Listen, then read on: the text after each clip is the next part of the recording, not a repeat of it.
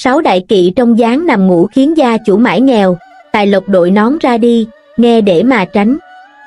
Trong phong thủy và tâm linh, tư thế nằm ngủ không chỉ đơn thuần ảnh hưởng đến giấc ngủ mà còn liên quan mật thiết đến vận mệnh, tài lộc và sức khỏe của gia chủ. Điều này được lý giải bởi sự kết nối giữa năng lượng trong cơ thể và không gian sống xung quanh. Nếu năng lượng không được lưu thông một cách đúng đắn, điều đó có thể dẫn đến thất thoát tài lộc, công việc không suôn sẻ và những bất hòa trong gia đình. Đây là lý do tại sao trong phong thủy, người ta rất chú trọng đến việc sắp xếp giường ngủ, hướng nằm và tư thế ngủ để đảm bảo rằng tài lộc, sức khỏe và vận may luôn trôi chảy vào cuộc sống của gia chủ. Dưới đây là 6 đại kỵ trong dáng nằm ngủ mà bất cứ ai cũng nên tránh để không bị cản trở tài lộc, vận may bị chặn đứng và sức khỏe bị suy yếu. 1. Đầu hướng thẳng ra cửa, mất sinh khí, tài lộc trôi đi. Theo phong thủy, cửa chính của ngôi nhà là nơi thu hút sinh khí và tài lộc. Nó được xem như ê miệng khí, nơi năng lượng từ ngoài vào và mang lại sự thịnh vượng cho gia chủ. Vì thế, nếu giường ngủ được đặt với đầu hướng thẳng ra cửa, sinh khí trong cơ thể sẽ bị rút ra ngoài thông qua cửa. Điều này không chỉ làm mất đi sự cân bằng năng lượng trong cơ thể mà còn khiến cho tài lộc bị trôi đi, khiến gia chủ dễ rơi vào tình trạng thiếu thốn, làm lụng vất vả mà không thể giàu lên. Không những thế, khi sinh khí bị thoát ra ngoài, cơ thể sẽ mất đi sức sống, dẫn đến tình trạng mệt mỏi, sức khỏe suy giảm. Việc này kéo theo nhiều hậu quả không mong muốn như mất tập trung trong công việc, giảm hiệu suất và khó có thể giữ được của cải. Để khắc phục điều này, gia chủ nên di chuyển giường ngủ ra khỏi hướng thẳng với cửa chính, hoặc có thể đặt một bình phong hoặc rèm che để ngăn cách giữa giường ngủ và cửa ra vào. Điều này sẽ giúp giữ lại sinh khí, bảo vệ tài lộc và cải thiện sức khỏe. 2. Chân hướng thẳng về bàn thờ, phạm thượng, gặp nhiều xui xẻo. Bàn thờ là nơi linh thiêng, nơi con cháu thể hiện lòng thành kính đối với tổ tiên và các đấng thần linh. Chính vì vậy, việc ngủ mà chân hướng thẳng về phía bàn thờ là một trong những điều tối kỵ. Trong phong thủy, hành động này được xem là phạm thượng, thiếu tôn trọng đối với các bậc tiền nhân và thần linh. Điều này có thể dẫn đến nhiều hệ quả xấu, không chỉ về mặt tinh thần mà còn ảnh hưởng nghiêm trọng đến tài lộc và vận may của gia chủ. Khi phạm phải lỗi phong thủy này, gia chủ dễ gặp phải những tai họa không mong muốn, công việc bị cản trở, tài lộc bị hao tổn và gia đình thường xuyên bất hòa. Theo quan niệm tâm linh, khi chúng ta không tôn trọng bề trên, chúng ta sẽ phải gánh chịu những hậu quả xấu từ việc làm này. Để tránh mắc phải lỗi phong thủy này, hãy đảm bảo rằng giường ngủ của bạn không bao giờ hướng chân thẳng về phía bàn thờ. Đồng thời, gia đình cũng nên giữ bàn thờ luôn sạch sẽ, trang nghiêm để duy trì sự kính trọng đối với tổ tiên. 3. Nằm úp mặt xuống giường, hấp thụ năng lượng tiêu cực, tài lộc khó phát triển. Nằm úp mặt xuống giường không chỉ gây ra những vấn đề về sức khỏe như khó thở, chèn ép tim mạch mà còn mang lại những tác động tiêu cực về mặt phong thủy. Khi ngủ úp mặt, cơ thể tiếp xúc trực tiếp với mặt đất và dễ dàng hấp thụ năng lượng tiêu cực từ môi trường xung quanh. Điều này dẫn đến tình trạng mất cân bằng năng lượng trong cơ thể, khiến cho tài lộc không thể vào nhà và công việc làm ăn không thể phát triển. Không chỉ vậy, tư thế này còn làm giảm sinh khí, khiến cho người ngủ cảm thấy mệt mỏi, thiếu sinh lực và không thể tập trung vào công việc. Phong thủy khuyên rằng, tư thế ngủ tốt nhất là nằm ngửa hoặc nằm nghiêng để dễ dàng hấp thụ sinh khí từ không gian xung quanh, giúp duy trì sức khỏe và thu hút tài lộc. Đặc biệt, hãy tránh việc nằm úp mặt xuống giường vì đây là tư thế dễ gây ra những tác động tiêu cực về cả sức khỏe lẫn phong thủy. 4. Ngủ dưới xà ngang áp lực đè nén, tài lộc bị chặn đứng. Trong phong thủy, xà ngang được xem là biểu tượng của sự đè nén và áp lực. Khi giường ngủ đặt dưới xà ngang, người nằm sẽ cảm nhận được sự áp lực, không chỉ về mặt tinh thần mà còn về cả thể chất. Năng lượng tiêu cực từ xà ngang sẽ gây ra cảm giác bị đè nặng, khiến cho tài lộc bị chặn đứng, công việc làm ăn không thể tiến triển và sự nghiệp của gia chủ dễ bị trì trệ.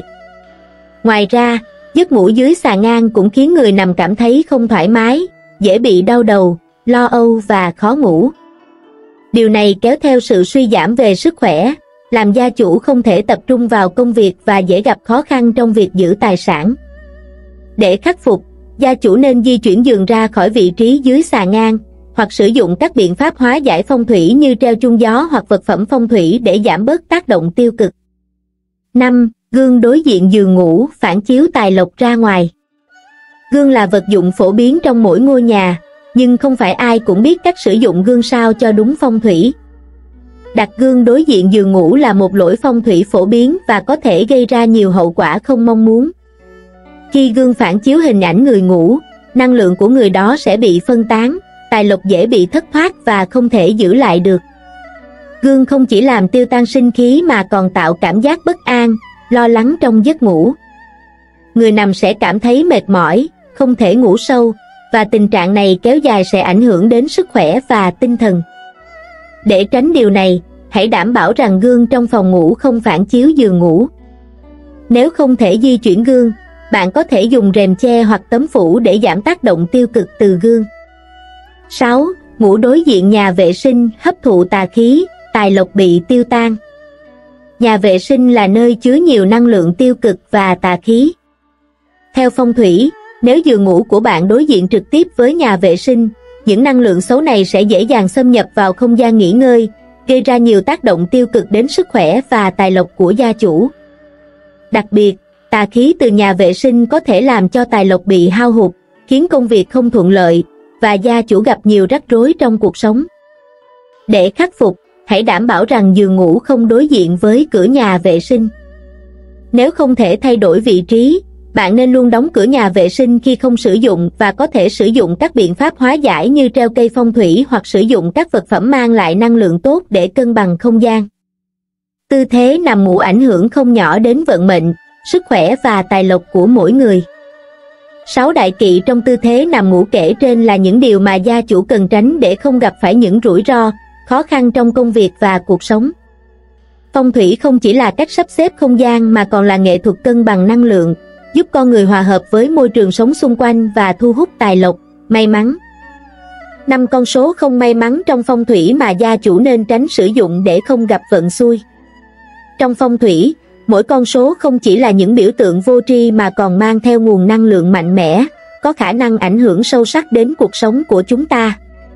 Từ hàng ngàn năm nay, các nhà phong thủy đã nghiên cứu và phân tích sự tương tác của các con số với dòng chảy năng lượng trong không gian sống, từ đó chỉ ra rằng có những con số mang lại may mắn, thịnh vượng và hạnh phúc, nhưng cũng có những con số mang lại sự xui xẻo, thất bại và bất ổn.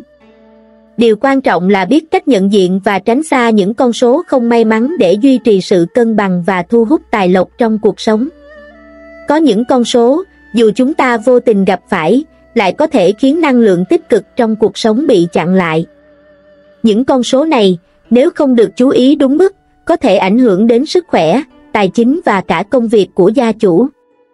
Việc hiểu rõ các con số không may mắn và tránh sử dụng chúng trong những tình huống quan trọng như chọn số nhà, số xe hay thậm chí là số điện thoại sẽ giúp bảo vệ dòng chảy năng lượng tích cực trong cuộc sống. Trong bài viết này, chúng ta sẽ cùng tìm hiểu 5 con số được xem là không may mắn theo phong thủy mà gia chủ nên tránh để không gặp vận xui. Không chỉ mang lại sự phân tích về ý nghĩa của từng con số, bài viết còn đưa ra những lời khuyên về cách hóa giải nếu bạn không thể tránh được các con số này. Hãy cùng khám phá và hiểu sâu hơn về cách các con số ảnh hưởng đến cuộc sống của bạn qua góc nhìn của phong thủy. Một Số 4 con số của sự chết chóc Số 4 là một trong những con số được coi là không may mắn nhất, đặc biệt là trong các nền văn hóa Á Đông. Lý do chính là vì trong tiếng Hán, số 4 được phát âm là tứ, nghe rất giống với từ tử, có nghĩa là cái chết. Chính vì điều này, số 4 được xem là biểu tượng của sự chết chóc, mất mát và sự kết thúc. Trong phong thủy, số 4 thường được cho là mang lại những điều xui xẻo, ám chỉ sự bế tắc trong cuộc sống. Số 4 còn liên quan đến sự ngừng trệ, không phát triển. Khi con số này xuất hiện quá nhiều trong cuộc sống của bạn, đó có thể là dấu hiệu của sự chậm lại, dừng bước hoặc thậm chí là thất bại trong công việc và các mối quan hệ. Đặc biệt, nếu số 4 xuất hiện trong số nhà, số xe hoặc số điện thoại, người sở hữu có thể gặp phải nhiều trục trặc và khó khăn trong cuộc sống. Để tránh sự xui xẻo liên quan đến số 4, bạn nên tránh sử dụng số này trong các quyết định quan trọng. Nếu không thể tránh được, Phong thủy khuyên rằng bạn có thể kết hợp số 4 với các con số may mắn khác như số 6 hoặc số 9 để giảm bớt tác động tiêu cực. Ngoài ra, việc sử dụng các vật phẩm phong thủy để hóa giải năng lượng xấu cũng là một biện pháp hiệu quả để bảo vệ dòng chảy tài lộc. 2. Số 13, biểu tượng của sự bất ổn và xui xẻo. Số 13 không chỉ mang ý nghĩa xui xẻo trong văn hóa phương Tây mà còn được coi là không may mắn trong phong thủy. Tại nhiều nơi, con số này thường gắn liền với sự rủi ro, thất bại và những sự kiện không mong muốn. Số 13 trong phong thủy có ý nghĩa của sự mất cân bằng và tạo ra những luồng năng lượng tiêu cực, gây cản trở cho sự thăng tiến và phát triển. Trong nhiều nền văn hóa, số 13 còn được coi là con số của sự bí ẩn và không chắc chắn. Điều này khiến cho những người sử dụng số 13 trong cuộc sống hàng ngày, từ số nhà đến số điện thoại, có thể gặp phải những khó khăn bất ngờ và không thể giải thích được. Ví dụ, trong một số tòa nhà, tầng 13 thường bị bỏ qua hoặc thay bằng tên gọi khác để tránh sự xui xẻo. Nếu bạn gặp phải số 13 trong các quyết định quan trọng như số nhà, biển số xe, hãy cân nhắc kỹ lưỡng trước khi sử dụng. Để giảm bớt sự ảnh hưởng của số 13, bạn có thể kết hợp nó với các con số may mắn khác hoặc sử dụng các phương pháp phong thủy để làm giảm bớt năng lượng tiêu cực mà nó mang lại. Điều này sẽ giúp bạn bảo vệ bản thân khỏi những rủi ro và duy trì sự ổn định trong cuộc sống. 3. Số 7, số của sự cô đơn và tổn thất. Mặc dù số 7 có thể mang lại những điều tốt lành trong một số trường hợp nhất định, nhưng trong phong thủy, số 7 thường được xem là biểu tượng của sự cô đơn và mất mát. Số 7 liên quan đến sự chia rẽ, thất bại và thậm chí là tổn thất về tài chính và tình cảm. Đặc biệt, khi số 7 xuất hiện trong số nhà, số xe hoặc số điện thoại, nó có thể mang lại những tác động tiêu cực đến sự thịnh vượng và hạnh phúc của gia chủ. Trong phong thủy, số 7 được cho là tạo ra sự gián đoạn trong dòng chảy năng lượng, khiến cho mọi thứ trở nên không ổn định. Điều này đặc biệt đúng trong các mối quan hệ cá nhân và công việc, nơi mà sự mất cân bằng năng lượng có thể gây ra sự hiểu lầm, tranh cãi và thậm chí là chia ly. Ngoài ra, số 7 cũng liên quan đến sự thất bại trong các kế hoạch tài chính, gây ra sự thua lỗ và khó khăn trong việc tích lũy của cải. Để giảm thiểu tác động của số 7, bạn có thể sử dụng các biện pháp phong thủy như đặt các vật phẩm may mắn trong nhà hoặc văn phòng để cân bằng lại năng lượng.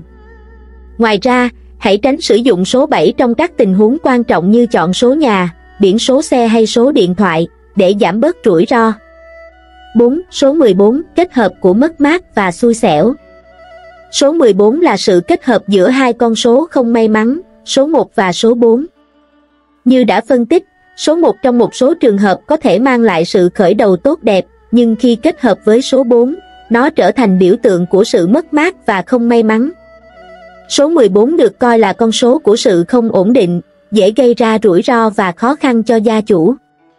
Số 14 trong phong thủy mang ý nghĩa của sự bế tắc và trì trệ, đặc biệt là trong công việc và tài chính. Khi số 14 xuất hiện trong cuộc sống hàng ngày, điều này có thể báo hiệu rằng gia chủ sẽ phải đối mặt với những trở ngại và mất mát.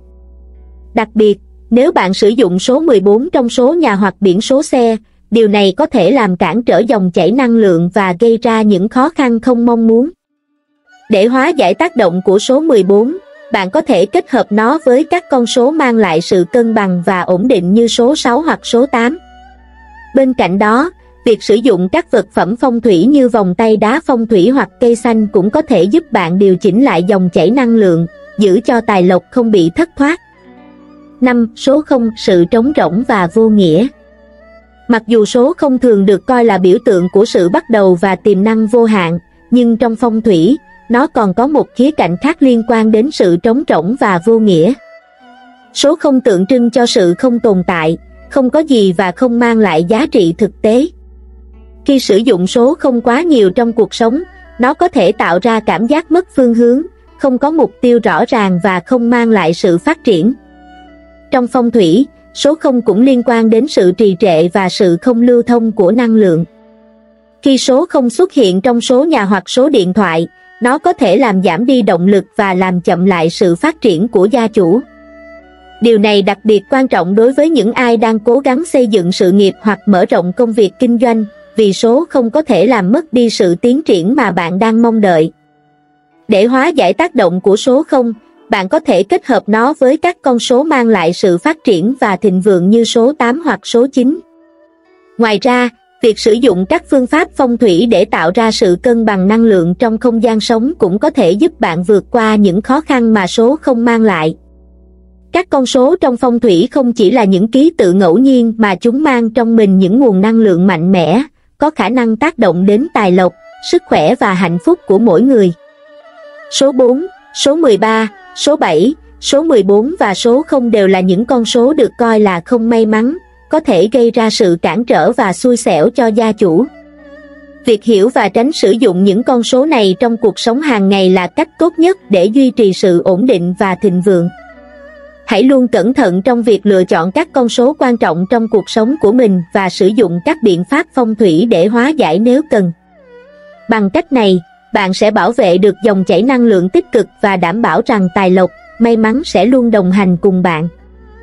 Các con số xui xẻo nên tránh trong cuộc sống hàng ngày theo phong thủy và cách hóa giải chúng. Con số không chỉ đóng vai trò là công cụ tính toán trong cuộc sống hàng ngày, mà theo phong thủy, chúng còn mang trong mình những tần số năng lượng đặc biệt, có thể tác động mạnh mẽ đến vận mệnh của con người.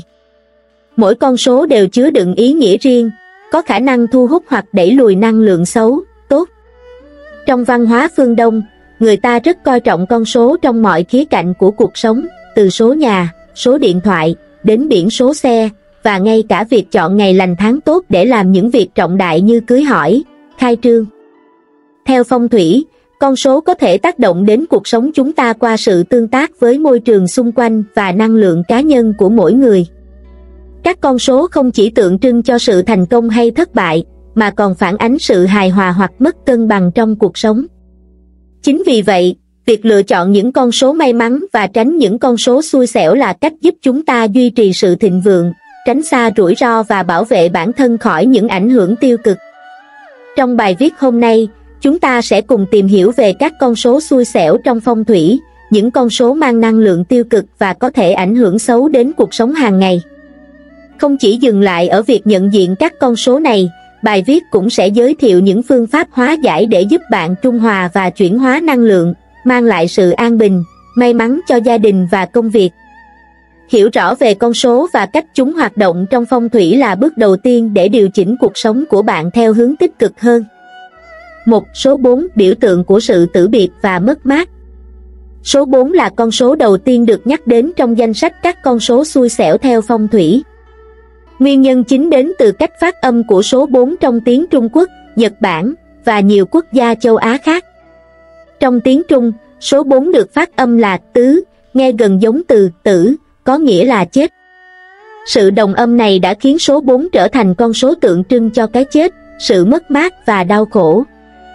Chính vì vậy, số 4 được coi là một trong những con số xui xẻo, và người ta thường tránh sử dụng số này trong các số nhà, số phòng, số điện thoại hay thậm chí là các tầng trong tòa nhà.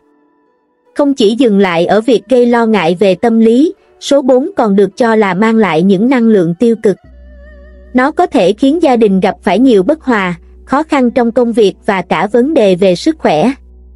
Trong nhiều trường hợp, sự xuất hiện của số 4 còn khiến người ta cảm thấy bất an và lo lắng, ảnh hưởng đến tinh thần và sự ổn định trong cuộc sống. Cách hóa giải Để hóa giải năng lượng xấu từ số 4, bạn có thể kết hợp số này với những con số may mắn như số 8 hoặc số 9.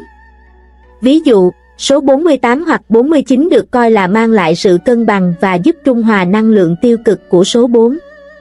Ngoài ra, bạn cũng có thể đặt các vật phẩm phong thủy trong nhà như kỳ lân, tỳ hưu hoặc những loại đá phong thủy như thạch anh tím, mắt hổ để thu hút năng lượng tích cực và hóa giải tác động không tốt từ số 4. 2. Số 13, biểu tượng của sự bất ổn và rủi ro. Số 13 là một con số mang tính chất xui xẻo không chỉ trong phong thủy mà còn trong văn hóa của nhiều quốc gia trên thế giới, đặc biệt là ở phương Tây. Người ta tin rằng số 13 liên quan đến sự phản bội, mất mát và bất ổn. Theo truyền thuyết, tại bữa tiệc cuối cùng của Chúa Giêsu, có 13 người tham gia và 9 người thứ 13, Judas, đã phản bội Chúa. Từ đó, số 13 đã trở thành biểu tượng của sự xui xẻo và phản bội trong nhiều nền văn hóa. Trong phong thủy, số 13 cũng không được coi là con số tốt. Số 1 tượng trưng cho sự khởi đầu mới, trong khi số 3 là biểu tượng của sự sáng tạo và phát triển. Tuy nhiên, khi kết hợp lại thành số 13, nó lại tạo ra một sự mất cân bằng về năng lượng, dẫn đến những rủi ro không mong muốn. Nhiều người tránh sử dụng số 13 trong các sự kiện quan trọng như ngày cưới, ngày khai trương hay thậm chí là ngày đi du lịch. Cách hóa giải Để hóa giải sự xui xẻo từ số 13, bạn có thể sử dụng các biểu tượng phong thủy như gương bát quái, quả cầu thủy tinh hoặc cây phong thủy để cân bằng năng lượng trong không gian sống. Ngoài ra, bạn cũng có thể kết hợp số 13 với các con số may mắn khác như số 8 để giảm bớt tác động tiêu cực. Việc tạo ra sự cân bằng trong không gian và tâm trí sẽ giúp bạn vượt qua được những lo lắng liên quan đến số 13. 3. Số 7 con số của sự cô độc và thất bại. Số 7 là một trong những con số gây tranh cãi nhiều nhất trong phong thủy. Trong một số nền văn hóa, số 7 được coi là con số may mắn, tượng trưng cho sự hoàn hảo và huyền bí. Tuy nhiên, trong phong thủy, số 7 thường liên quan đến sự cô độc, thất bại và mất mát. Số 7 còn gắn liền với tháng cô hồn trong văn hóa Trung Quốc, thời điểm mà linh hồn người chết được cho là trở về trần gian, khiến số 7 bị gắn liền với yếu tố âm. Trong nhiều ngữ cảnh phong thủy, số 7 còn đại diện cho sự xáo trộn về mặt tình cảm và mối quan hệ, khiến người ta dễ rơi vào trạng thái cô lập, cảm thấy mất mát trong cuộc sống cá nhân. Nhiều người thường tránh sử dụng số 7 trong các số nhà, biển số xe hay số điện thoại vì lo ngại rằng nó có thể ảnh hưởng đến tình duyên và hạnh phúc gia đình.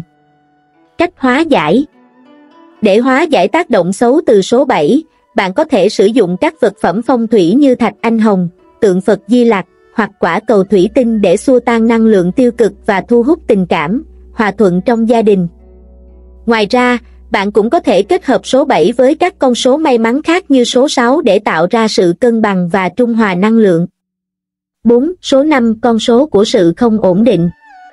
Số 5 trong phong thủy đại diện cho sự thay đổi, biến động và đôi khi là sự bất ổn.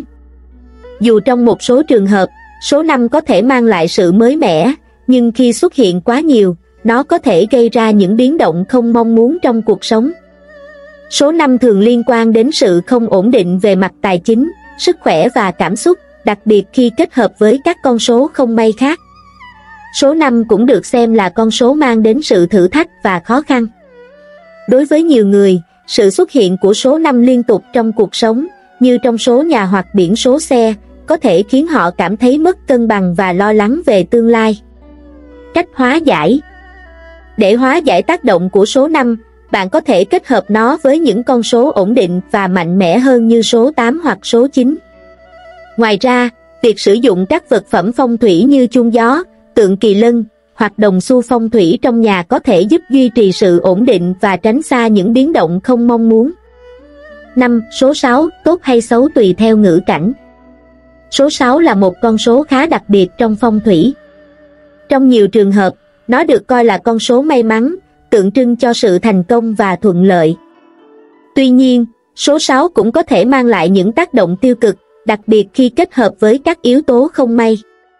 Ví dụ, số 666 thường được liên tưởng đến biểu tượng của ma quỷ và sự xấu xa trong một số tôn giáo phương Tây. Trong phong thủy, số 6 mang lại năng lượng mạnh mẽ, nhưng nếu không được sử dụng đúng cách, nó có thể tạo ra sự mất cân bằng. Điều này đặc biệt đúng khi số 6 xuất hiện trong các ngữ cảnh liên quan đến tiền bạc và tài chính, khiến người ta cảm thấy lo ngại về sự mất mát.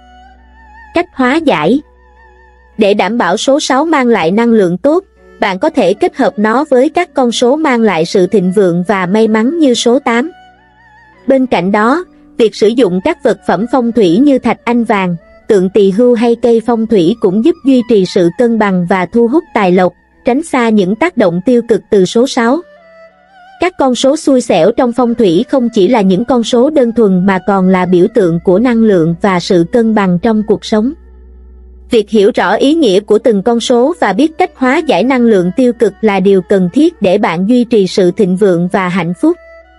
Dù là số 4, số 13, số 7 hay số 5, mỗi con số đều mang trong mình những tác động nhất định, và việc sử dụng phong thủy để hóa giải những ảnh hưởng không tốt sẽ giúp bạn tận hưởng một cuộc sống hài hòa, bình an. Trong phong thủy và tâm linh, cơ thể phản ánh năng lượng của môi trường xung quanh và cả vận mệnh của chúng ta. Những thay đổi nhỏ về hình dáng, đặc biệt là khi một số bộ phận cơ thể bỗng nhiên to ra hoặc phát triển dày lên, có thể không chỉ là biểu hiện sinh lý mà còn là điềm báo về những điều tốt lành, tài lộc và thịnh vượng đang chuẩn bị đến. Những dấu hiệu từ cơ thể thường được xem là sự kết nối trực tiếp với vũ trụ, và những thay đổi này có thể mang lại thông điệp mạnh mẽ về tương lai. Cơ thể không chỉ là hình ảnh thể hiện sức khỏe mà còn là biểu tượng của năng lượng và may mắn. Trong bài viết này, chúng ta sẽ cùng khám phá 8 bộ phận cơ thể, khi bỗng nhiên phát triển, to lên, có thể mang lại điềm báo tốt lành cho bạn, báo hiệu rằng tài lộc đang trên đường đến với bạn. Một giái tai to và dày lên Giái tai từ lâu đã được xem là biểu tượng của sự phúc hậu, thịnh vượng và tuổi thọ. Trong nhân tướng học, người có giái tai to và dày thường được coi là có vận số giàu sang, may mắn suốt đời. Khi bạn nhận thấy giái tai của mình bỗng nhiên dày lên, đây không chỉ là biểu hiện của sức khỏe tốt mà còn là dấu hiệu cho thấy bạn sắp đón nhận một thời kỳ thịnh vượng, tài lộc sẽ đến với bạn một cách tự nhiên, không cần phải nỗ lực quá nhiều.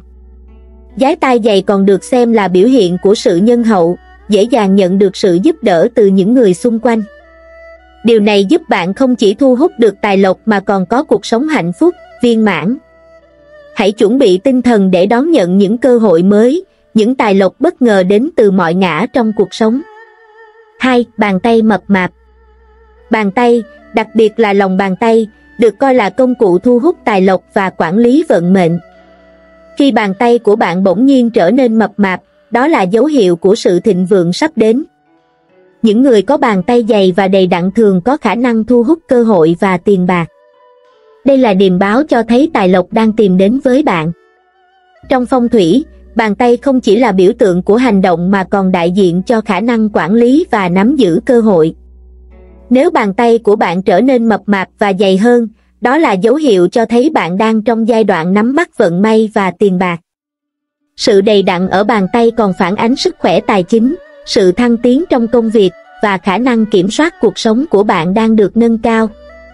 3. Mũi to và mập lên Mũi được xem là cung tài bạch trong nhân tướng học và cũng là biểu tượng cho của cải và tài sản. Khi mũi của bạn bỗng nhiên trở nên to và mập hơn, điều này thường là dấu hiệu báo trước cho sự giàu có, thịnh vượng.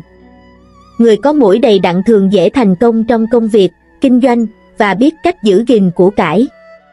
Mũi không chỉ biểu thị tài lộc mà còn thể hiện khả năng kiểm soát, quản lý tiền bạc.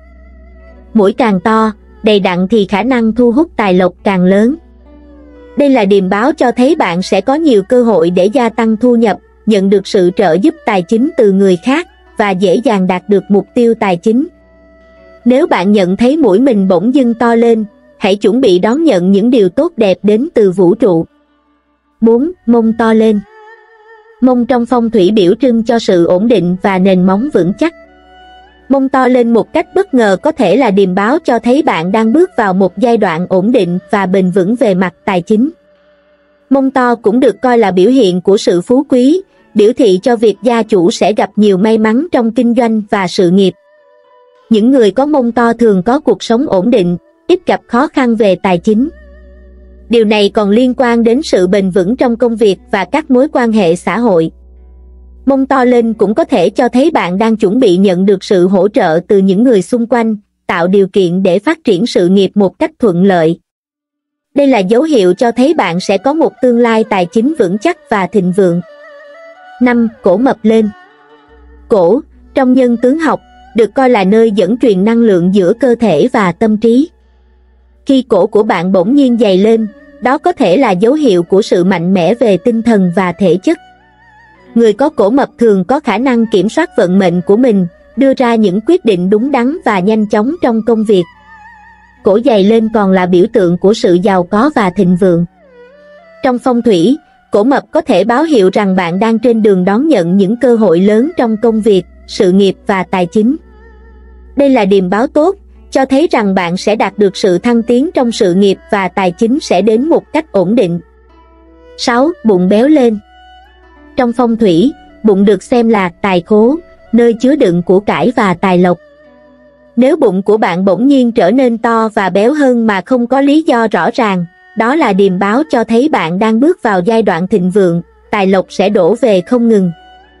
Một chiếc bụng tròn trịa, đầy đặn không chỉ thể hiện sự dư giả về vật chất mà còn báo hiệu một cuộc sống bình an và hạnh phúc. Bụng béo lên còn cho thấy bạn đang chuẩn bị nhận được những điều tốt lành từ vũ trụ. Điều này không chỉ là biểu hiện của sự giàu có mà còn liên quan đến sự ổn định trong công việc và các mối quan hệ cá nhân. Khi bụng trở nên tròn trịa hơn, đó là dấu hiệu rằng vận may và tài lộc đang chuẩn bị gõ cửa nhà bạn. 7. Bàn chân dày và mập lên Bàn chân trong phong thủy là biểu tượng của sự vững chãi và ổn định. Khi bàn chân của bạn bỗng nhiên dày và mập lên, đó là dấu hiệu cho thấy bạn đang chuẩn bị bước vào một giai đoạn phát triển bền vững và lâu dài.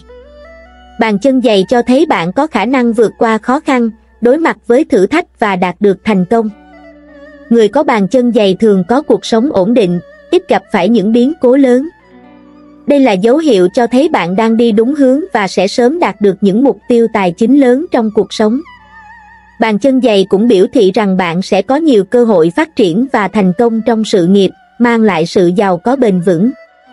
8. Lưng bỗng nhiên dày lên Lưng trong phong thủy biểu trưng cho sự hỗ trợ và khả năng gánh vác. Khi lưng của bạn dày lên, đó là dấu hiệu cho thấy bạn đang được vũ trụ ban cho sự bảo trợ mạnh mẽ. Lưng dày còn biểu thị rằng bạn sẽ nhận được sự giúp đỡ từ người khác, đặc biệt là trong công việc và tài chính. Điều này cho thấy bạn đang có nền tảng vững chắc để tiến xa hơn trong sự nghiệp. Người có lưng dày thường có khả năng quản lý tài chính tốt, biết cách kiểm soát và điều hướng sự nghiệp của mình. Điều này giúp họ luôn đạt được những thành công lớn, đặc biệt là trong việc duy trì và phát triển tài sản. Khi một số bộ phận cơ thể bỗng nhiên to lên, đó có thể là dấu hiệu cho thấy vũ trụ đang gửi đến bạn những thông điệp về sự thịnh vượng, tài lộc và phát triển. Giái tai, bàn tay, mũi, mông, cổ, bụng, bàn chân và lưng, tất cả những bộ phận này đều mang ý nghĩa phong thủy sâu sắc, giúp bạn nhận biết được vận may và cơ hội tài chính sắp đến.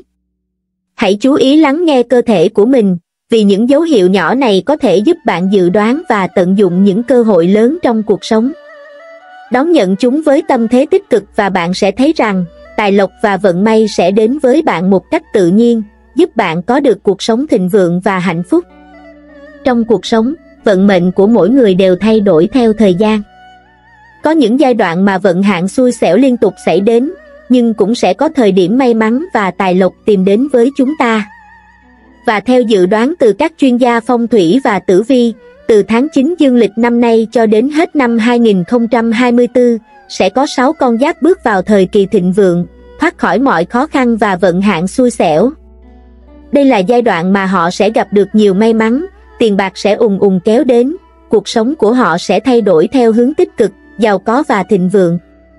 Hãy cùng nhau khám phá xem những con giáp nào sẽ bước vào giai đoạn may mắn này và sẵn sàng đón nhận những cơ hội lớn đến với mình. Nếu bạn nằm trong danh sách này, hãy tự tin và chuẩn bị tinh thần để đón nhận những điều tuyệt vời sắp đến. Một tuổi dậu, gặp may mắn bất ngờ, phát tài nhanh chóng. Người tuổi dậu là những người luôn tỉ mỉ, cẩn thận và chăm chỉ trong công việc. Tuy nhiên, vận mệnh của họ trong thời gian qua có phần gặp nhiều thử thách và khó khăn. Đối với những người tuổi dậu, từ tháng 9 năm 2024 trở đi, sẽ có sự thay đổi lớn trong cuộc sống và công việc. Họ sẽ thoát khỏi những vận hạn không may và bước vào giai đoạn của sự thịnh vượng. Những may mắn bất ngờ sẽ liên tục đến với họ, mang lại nhiều cơ hội tài chính và cơ hội phát triển sự nghiệp. Người tuổi dậu sẽ thấy sự thay đổi rõ rệt trong cả công việc và thu nhập. Những dự án mà họ tham gia sẽ thành công hơn mong đợi, và tiền bạc sẽ không ngừng đổ về. Nếu bạn thuộc tuổi dậu, đây là thời điểm mà bạn nên tập trung đầu tư và quản lý tài chính một cách thông minh, vì vận may đang đứng về phía bạn. Đừng ngần ngại thử sức với những dự án mới, vì rất có thể, đó chính là cơ hội để bạn phát tài và đạt được thành công lớn. 2. Tuổi Tỵ, cơ hội lớn trong tài chính và đầu tư. Người tuổi Tỵ luôn được biết đến là những người khôn khéo, thông minh và biết cách tận dụng cơ hội. Trong năm 2024, từ tháng 9 trở đi, tuổi tỵ sẽ có cơ hội thoát khỏi mọi vận hạn xui xẻo, bước vào giai đoạn của sự thăng tiến và tài lộc. Đây là thời điểm mà bạn sẽ gặp được những cơ hội lớn trong lĩnh vực tài chính và đầu tư. Những người tuổi tỵ có thể gặp được các cơ hội đầu tư bất động sản hoặc các dự án tài chính mang lại nguồn thu nhập lớn. Nếu bạn thuộc tuổi tỵ, đừng ngần ngại thực hiện những kế hoạch đầu tư mà bạn đã ấp ủ. Thời điểm này là lúc vận may đang đến, và những khoản đầu tư này sẽ mang lại cho bạn những khoản lợi nhuận không ngờ tới. Không chỉ vậy, các mối quan hệ xã hội của tuổi tỵ cũng sẽ phát triển mạnh mẽ, giúp bạn kết nối với những người có thể hỗ trợ và giúp đỡ bạn trong công việc. Hãy tận dụng những cơ hội đang đến, và chắc chắn rằng bạn sẽ đạt được thành công trong giai đoạn này. 3. Tuổi thìn, tài lộc dồi dào, vận mệnh đổi thay. Người tuổi thìn được biết đến với khả năng lãnh đạo và tầm nhìn chiến lược. Tuy nhiên, thời gian trước đây, họ đã gặp không ít trở ngại và vận hạn không may mắn, khiến công việc và tài chính của họ không phát triển như mong đợi. Nhưng từ tháng 9 năm 2024, tuổi thìn sẽ có sự thay đổi lớn trong vận mệnh. Đây sẽ là giai đoạn mà tài lộc dồi dào và cơ hội mới sẽ đến với họ. Những người tuổi thìn nên tận dụng cơ hội này để mở rộng mối quan hệ và đầu tư vào các dự án lớn. Sự thịnh vượng không chỉ đến từ công việc mà còn từ những nguồn đầu tư thông minh. Vận may sẽ giúp họ thực hiện những dự án lớn và mang lại lợi nhuận đáng kể. Đây cũng là thời điểm mà tuổi thìn sẽ nhận được sự ủng hộ từ những người xung quanh, giúp công việc của họ phát triển thuận lợi và đạt được những mục tiêu đã đề ra. 4. Tuổi dần, may mắn liên tiếp, sự nghiệp thăng hoa. Người tuổi dần luôn được biết đến là những người mạnh mẽ, quyết đoán và có khả năng lãnh đạo tốt. Tuy nhiên, vận hạn xui xẻo trong thời gian trước đã khiến họ gặp phải không ít khó khăn và thách thức trong công việc cũng như cuộc sống. Nhưng đừng lo, từ tháng 9 năm 2024, mọi khó khăn của tuổi dần sẽ tan biến và thay vào đó là sự thịnh vượng và may mắn. Đây là thời điểm mà tuổi dần sẽ gặp được quý nhân phù trợ, giúp họ vượt qua mọi trở ngại và đạt được thành công lớn trong sự nghiệp. Công việc của tuổi dần sẽ thăng hoa một cách bất ngờ, và họ sẽ có cơ hội để khẳng định vị thế của mình. Những người thuộc tuổi dần cũng sẽ thấy mối quan hệ của mình với đồng nghiệp và đối tác được cải thiện, giúp họ dễ dàng thực hiện những dự án lớn. Tài lộc sẽ không ngừng đổ về, và đây là lúc để họ tận dụng cơ hội và phát triển sự nghiệp lên một tầm cao mới. Năm Tuổi Sửu, vượt qua thử thách, thịnh vượng đầy nhà. Tuổi Sửu là những người chăm chỉ, kiên nhẫn và luôn biết cách vượt qua khó khăn. Tuy nhiên, trong thời gian qua, họ đã gặp nhiều thử thách và vận hạn không may mắn, khiến công việc và cuộc sống trở nên khó khăn hơn. Nhưng từ tháng 9 năm 2024, vận mệnh của người tuổi Sửu sẽ có sự thay đổi tích cực. Họ sẽ thoát khỏi mọi vận hạn xui xẻo và bước vào giai đoạn thịnh vượng, tài lộc dồi dào. Người tuổi Sửu sẽ nhận được nhiều cơ hội lớn trong công việc và đầu tư sự kiên nhẫn và nỗ lực của họ sẽ được đền đáp bằng những thành công bất ngờ. Đây là thời điểm mà những dự án mà họ tham gia sẽ mang lại lợi nhuận lớn. Tài lộc sẽ đổ về nhà và họ sẽ thấy cuộc sống của mình trở nên thịnh vượng hơn bao giờ hết. Đừng bỏ lỡ cơ hội này, vì đó chính là thời điểm mà bạn sẽ đạt được những điều mong muốn.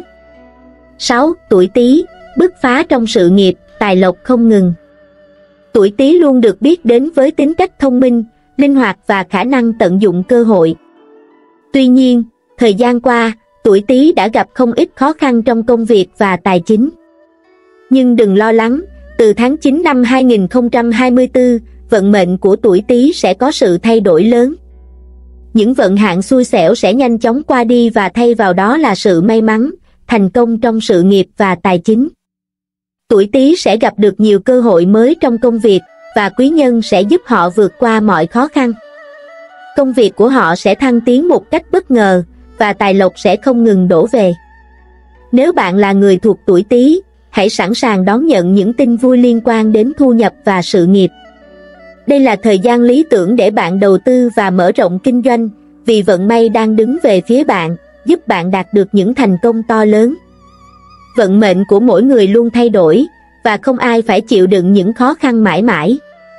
Với 6 con giáp được đề cập ở trên, từ tháng 9 năm 2024 đến hết năm, đây sẽ là giai đoạn của sự thịnh vượng và tài lộc. Nếu bạn nằm trong danh sách những con giáp may mắn này, hãy chuẩn bị tinh thần và sẵn sàng đón nhận những điều tốt đẹp.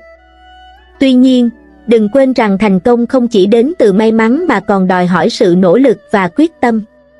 Hãy làm việc chăm chỉ, tận dụng mọi cơ hội và giữ vững lòng tin vào bản thân. Đây là thời điểm mà vũ trụ đang gửi đến bạn những cơ hội tuyệt vời.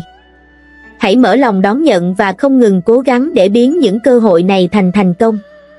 Với sự kiên trì và ý chí, chắc chắn bạn sẽ đạt được những điều mong muốn và cuộc sống của bạn sẽ trở nên thịnh vượng hơn bao giờ hết. Trong cuộc sống, có những điều tưởng chừng như ngẫu nhiên nhưng lại mang trong mình những ý nghĩa sâu xa mà ít ai biết đến. Theo phong thủy và tâm linh, việc vô tình nhặt được những vật phẩm đặc biệt khi đang đi trên đường không chỉ là sự tình cờ mà còn là tín hiệu từ vũ trụ gửi đến. Đó là điềm báo rằng vận may đang đến gần, và bạn có thể sắp nhận được tài lộc, thịnh vượng từ trời ban. Những vật phẩm này không chỉ có giá trị vật chất mà còn chứa đựng ý nghĩa phong thủy sâu sắc, giúp kích hoạt dòng chảy năng lượng tích cực, mang lại sự giàu có và thành công cho người nhặt được. Hãy tưởng tượng rằng bạn đang đi trên một con đường quen thuộc và đột nhiên bạn nhặt được một vật nhỏ xinh.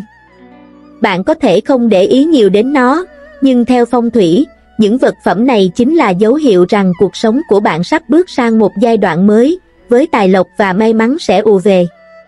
Trong bài chia sẻ hôm nay, chúng ta sẽ cùng tìm hiểu về 7 vật phẩm cực kỳ may mắn. Nếu bạn vô tình nhặt được chúng khi đang đi trên đường, hãy xem đó như là một tín hiệu từ trời đất rằng sự phát tài, giàu có đang chờ đợi bạn phía trước. Một nhặt được tiền lẻ, điềm báo tiền tài đổ về. Nhặt được tiền lẻ, dù là đồng xu nhỏ hay tờ tiền giấy, luôn là một trong những dấu hiệu phổ biến nhất của việc vận may tài lộc đang đến gần. Tiền bạc luôn là biểu tượng của sự giàu có, và trong phong thủy, việc nhặt được tiền trên đường là điềm báo rằng dòng chảy tài lộc sắp tìm đến với bạn. Đó có thể là một cơ hội kinh doanh mới, một khoản thu nhập bất ngờ, hoặc đơn giản là bạn sắp nhận được một phần thưởng lớn từ công việc. Nhiều người tin rằng khi nhặt được tiền lẻ, đó là lời nhắc nhở từ vũ trụ rằng tài vận của bạn đang thăng hoa. Đừng xem thường việc nhặt được một đồng xu nhỏ, bởi nó tượng trưng cho sự khởi đầu của những điều may mắn và tài lộc lớn hơn. Hãy giữ nó như một biểu tượng của sự thịnh vượng và mang theo bên mình để kích hoạt năng lượng tích cực. 2. Nhặt được chiếc chìa khóa, mở cửa vận may. Chìa khóa không chỉ là vật dụng để mở cửa vật lý mà còn là biểu tượng mạnh mẽ trong phong thủy, tượng trưng cho việc mở cửa những cơ hội và thành công mới. Nếu bạn vô tình nhặt được một chiếc chìa khóa trên đường, đó là dấu hiệu rằng bạn sắp mở ra một cánh cửa mới trong cuộc sống, nơi mà tài lộc, thịnh vượng và may mắn sẽ đến với bạn. Chiếc chìa khóa còn tượng trưng cho việc giải quyết những vấn đề đang tồn tại, giúp bạn tháo gỡ những khó khăn mà trước đây bạn chưa thể giải quyết. Nó là dấu hiệu cho thấy cuộc sống của bạn đang chuẩn bị có những bước tiến lớn và những cơ hội tốt đẹp sắp đến. Trong phong thủy, việc nhặt được chìa khóa cũng thể hiện rằng bạn sắp bước vào một giai đoạn mới của sự nghiệp hoặc tài chính, nơi mà mọi cánh cửa đều mở ra để chào đón bạn.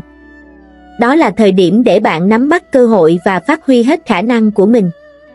3. Nhặt được tờ tiền có số seri đẹp, điềm lành trúng số.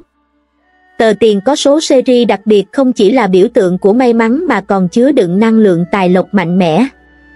Nếu bạn nhặt được một tờ tiền với số seri đẹp, đặc biệt là những số như 8, 6 hoặc các con số phong thủy khác, đó là điềm báo rằng bạn đang đứng trước cơ hội lớn để phát tài.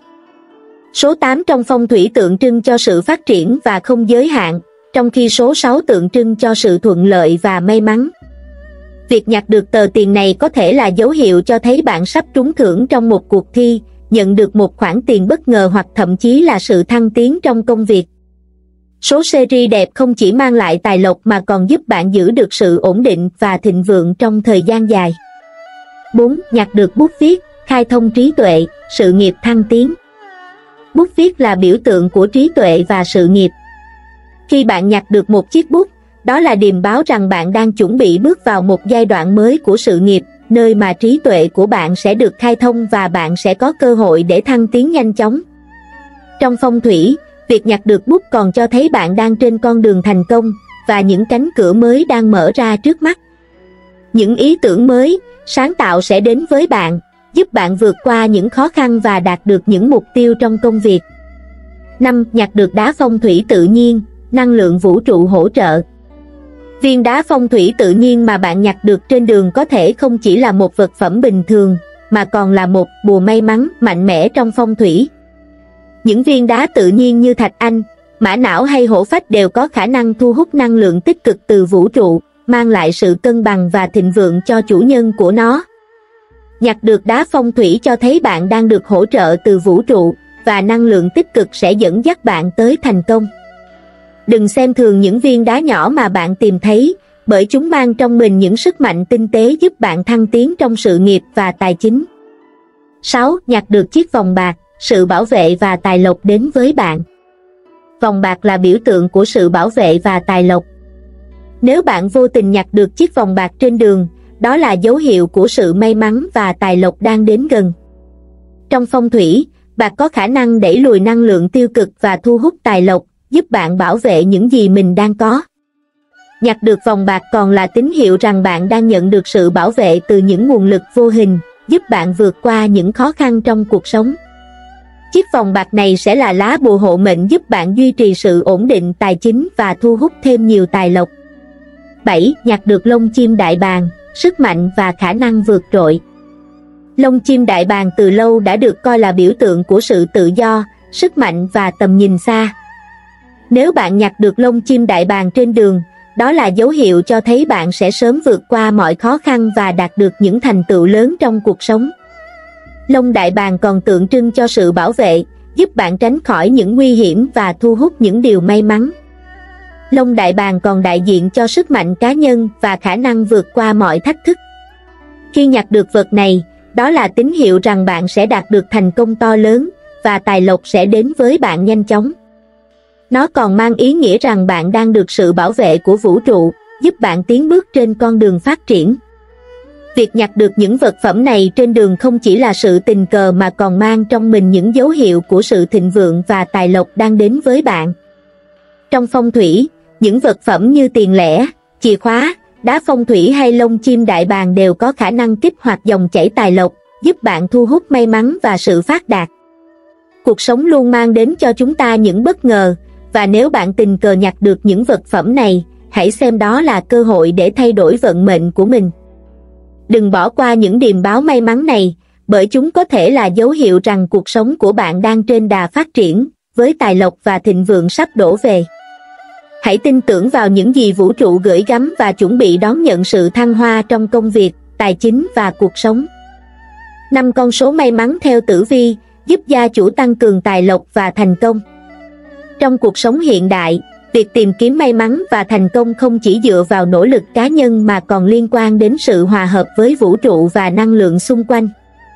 Từ hàng ngàn năm nay, tử vi và phong thủy đã được sử dụng như những công cụ hữu ích để định hướng cuộc sống, giúp con người tận dụng các nguồn năng lượng tốt lành để đạt được những mục tiêu mong muốn. Một trong những yếu tố quan trọng trong phong thủy và tử vi đó là các con số. Mỗi con số đều mang theo một loại năng lượng riêng, tác động trực tiếp đến cuộc sống, công việc và tài chính của mỗi người. Sử dụng các con số may mắn một cách thông minh không chỉ giúp tăng cường tài lộc, vận may mà còn giúp bảo vệ gia chủ khỏi những rủi ro và thách thức trong cuộc sống. Tuy nhiên, không phải ai cũng biết cách tận dụng hiệu quả những con số này, và càng ít người hiểu được rằng việc chọn đúng con số có thể tạo ra sự khác biệt lớn trong các khía cạnh quan trọng của cuộc sống. Trong bài viết này, chúng ta sẽ khám phá 5 con số may mắn theo tử vi và phong thủy, giúp gia chủ thu hút tài lộc, thăng tiến sự nghiệp và tạo dựng một cuộc sống hạnh phúc.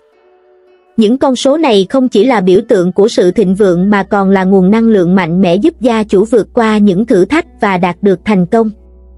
Hãy cùng tìm hiểu chi tiết về từng con số và cách áp dụng chúng vào cuộc sống để đạt được những lợi ích tốt nhất. Một Số 8 con số của tài lộc và thịnh vượng Số 8 từ lâu đã được coi là một con số may mắn trong văn hóa Á Đông, đặc biệt là ở Trung Quốc. Lý do là vì số 8 trong tiếng Hán phát âm gần giống với từ phát, có nghĩa là phát đạt, thăng tiến, phát tài. Vì vậy, số 8 thường được liên kết với sự giàu sang, tài lộc và thịnh vượng. Trong phong thủy, số 8 còn đại diện cho sự vô tận, liên tục và không ngừng phát triển. Đối với những người muốn cải thiện tài chính, số 8 chính là một con số lý tưởng để kích hoạt nguồn năng lượng tài lộc. bạn có thể sử dụng số 8 trong nhiều khía cạnh của cuộc sống như chọn số nhà, số xe, hoặc thậm chí là số điện thoại để giúp thu hút thêm may mắn và tài lộc. Đặc biệt, nếu bạn đang kinh doanh, việc chọn số 8 làm ngày khai trương hoặc trong các sự kiện quan trọng sẽ giúp gia tăng cơ hội thành công và mang lại nhiều may mắn. Không chỉ dừng lại ở tài chính, số 8 còn được cho là giúp ổn định sự nghiệp và mang lại sự vững chắc trong các mối quan hệ. Trong năm nay, số 8 sẽ tiếp tục là con số mang lại nhiều cơ hội tốt cho gia chủ, đặc biệt là trong việc mở rộng công việc kinh doanh hoặc tìm kiếm những dự án mới. Một cách dễ dàng để sử dụng số 8 là chọn những ngày có chứa số này cho các hoạt động quan trọng như ký kết hợp đồng hoặc đưa ra các quyết định lớn. 2. Số 9, số của quyền lực và trường thọ.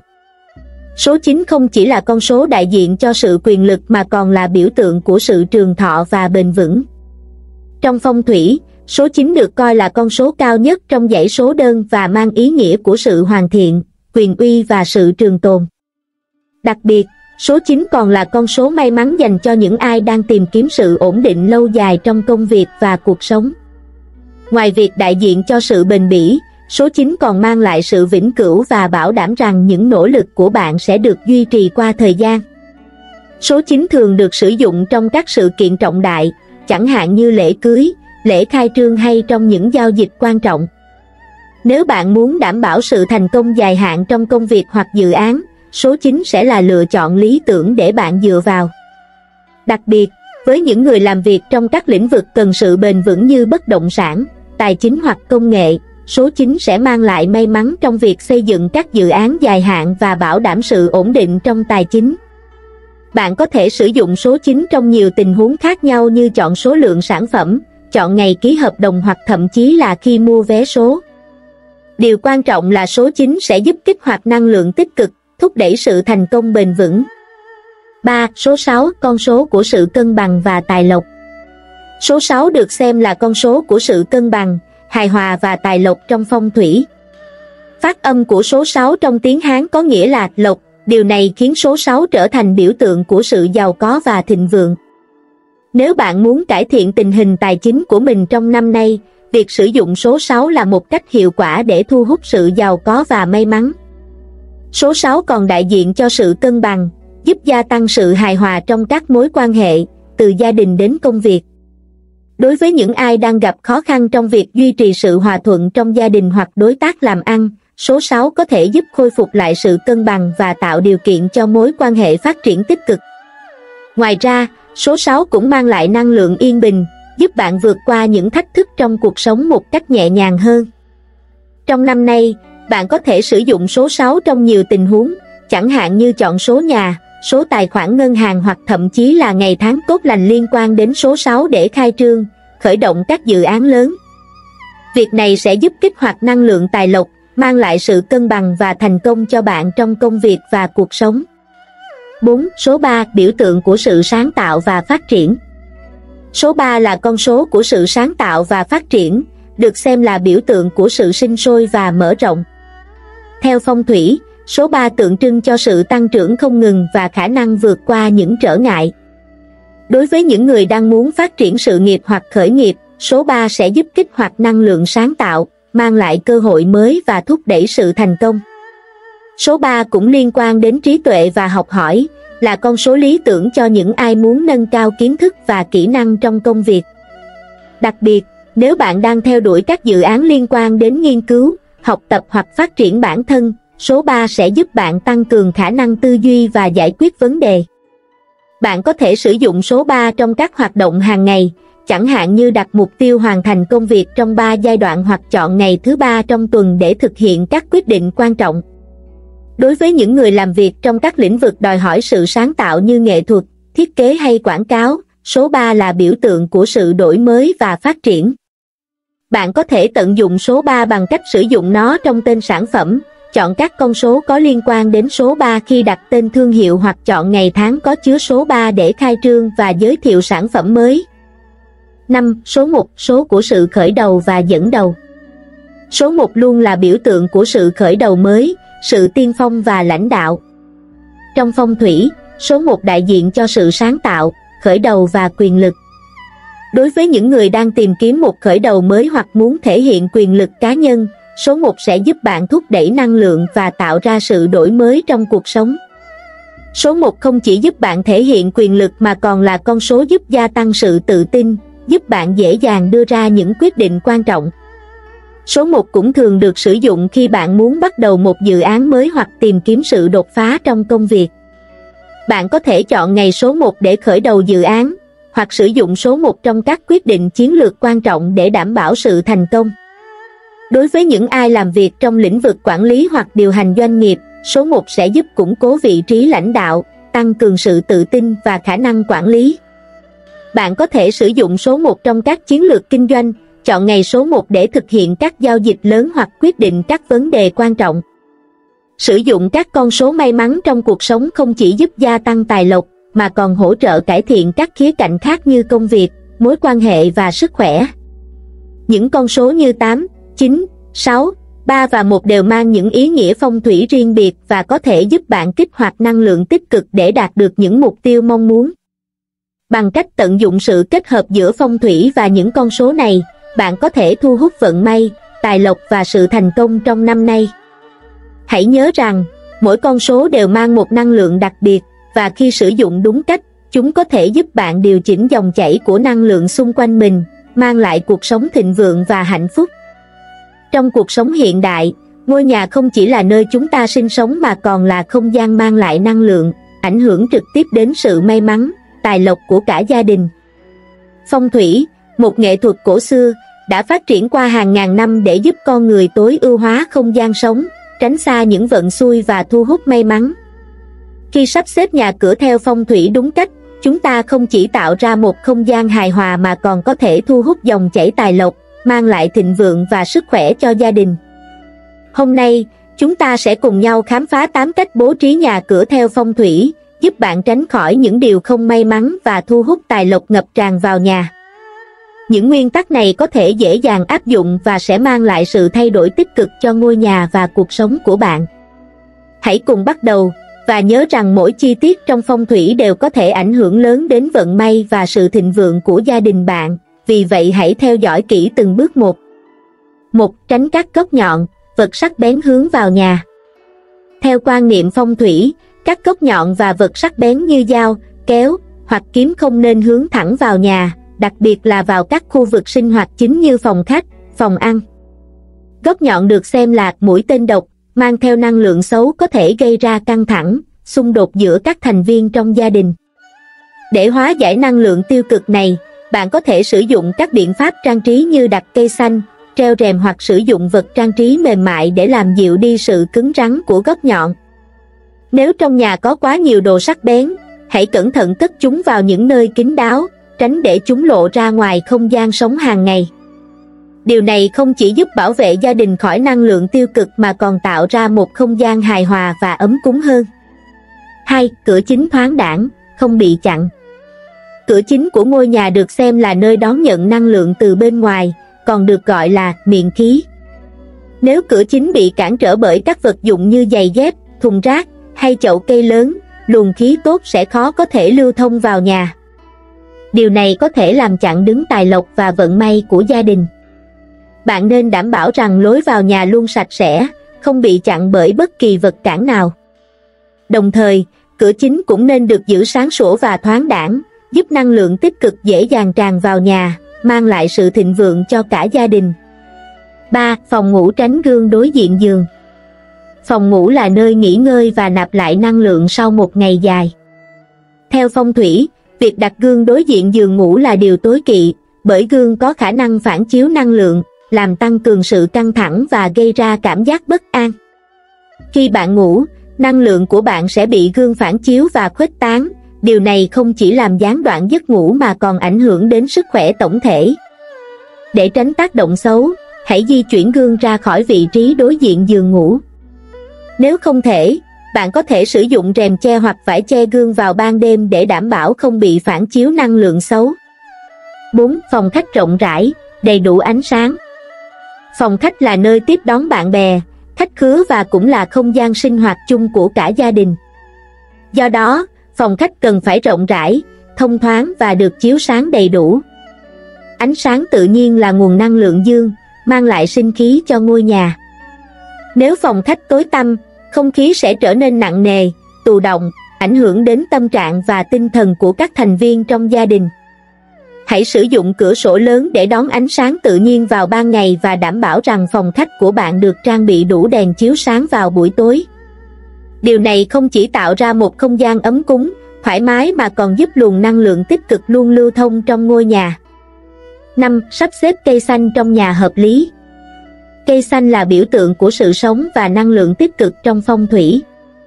Việc sắp xếp cây xanh hợp lý trong nhà không chỉ giúp thanh lọc không khí mà còn tạo ra sự cân bằng, hài hòa trong không gian sống. Tuy nhiên, không phải tất cả các loại cây đều phù hợp với mọi vị trí trong nhà. Theo phong thủy, cây xanh nên được đặt ở những nơi có nhiều ánh sáng tự nhiên như gần cửa sổ hoặc ban công để phát huy tác dụng tốt nhất. Bạn nên tránh đặt cây xanh quá nhiều trong phòng ngủ hoặc những khu vực kín gió, thiếu ánh sáng. Những khu vực này thường không thích hợp cho cây phát triển và có thể làm suy yếu năng lượng dương của ngôi nhà. 6. Giữ vệ sinh nhà cửa, tránh khí xấu. Ngôi nhà cần phải được giữ sạch sẽ, gọn gàng để năng lượng tích cực luôn lưu thông. Bụi bẩn, rác thải không chỉ làm ảnh hưởng đến sức khỏe mà còn là nơi tích tụ khí xấu, gây ra sự trì trệ về vận may và tài lộc. Theo phong thủy, những nơi như gầm giường, gầm tủ nếu để bụi bẩn tích tụ lâu ngày sẽ khiến năng lượng xấu bị kẹt lại, gây ảnh hưởng đến sự hài hòa của ngôi nhà. Hãy thường xuyên dọn dẹp, sắp xếp lại các vật dụng trong nhà để không gian sống luôn thông thoáng, sạch sẽ, từ đó giúp cho tài lộc và may mắn dễ dàng tìm đến. 7. Sử dụng các vật phẩm phong thủy Vật phẩm phong thủy là những công cụ hữu ích giúp gia chủ kích hoạt các luồng khí tốt, thu hút tài lộc và xua đuổi vận xui. Một số vật phẩm phổ biến như bể cá, tượng Phật hoặc cây tài lộc đều có tác dụng tích cực trong việc cải thiện phong thủy cho ngôi nhà. Tuy nhiên, để đạt được hiệu quả cao nhất, bạn cần phải biết cách sắp xếp và đặt các vật phẩm này đúng vị trí. Chẳng hạn, bể cá nên được đặt ở hướng đông nam để thu hút tài lộc, trong khi tượng Phật cần được đặt ở nơi trang trọng, cao ráo để thể hiện sự tôn kính. Khi sử dụng đúng cách, các vật phẩm phong thủy sẽ giúp gia đình bạn không chỉ tránh được vận xui mà còn đón nhận nhiều may mắn, tài lộc. 8. Bếp lửa luôn ấm, không bị đối diện cửa chính. Trong phong thủy, bếp lửa được coi là biểu tượng của tài lộc và sự thịnh vượng của gia đình. Vì vậy, việc bố trí bếp sao cho hợp phong thủy là điều vô cùng quan trọng. Đặc biệt, bếp không nên đặt đối diện với cửa chính, vì theo quan niệm phong thủy, điều này sẽ khiến tài lộc trôi ra khỏi nhà, gia đình khó giữ được sự thịnh vượng. Đồng thời, bếp cần phải được giữ ấm, sạch sẽ để năng lượng dương luôn được duy trì. Nếu bếp nhà bạn đang đối diện cửa chính, hãy sử dụng rèm hoặc bình phong để che chắn, giúp ngăn chặn luồng khí xấu. Đảm bảo rằng bếp luôn gọn gàng, ngăn nắp và lửa luôn ấm áp để mang lại sự hưng thịnh cho gia đình. Bố trí nhà cửa theo phong thủy không chỉ giúp gia đình tránh được những điều xui rủi mà còn mang lại sự hài hòa, thịnh vượng và may mắn. Những thay đổi nhỏ trong cách sắp xếp không gian sống có thể tạo ra sự khác biệt lớn trong cuộc sống của bạn. Hãy dành thời gian để quan sát và điều chỉnh lại ngôi nhà của mình theo những nguyên tắc phong thủy mà chúng tôi vừa chia sẻ, và bạn sẽ cảm nhận được sự thay đổi tích cực.